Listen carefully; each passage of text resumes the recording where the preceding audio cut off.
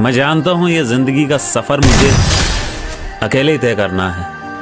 तो बस यूँ ही टकरा गए थे। गलती मेरी थी कि पल दो पल के मेहमान को मैंने ज़िंदगी भर का हम सफ़र समझ लिया था। जी।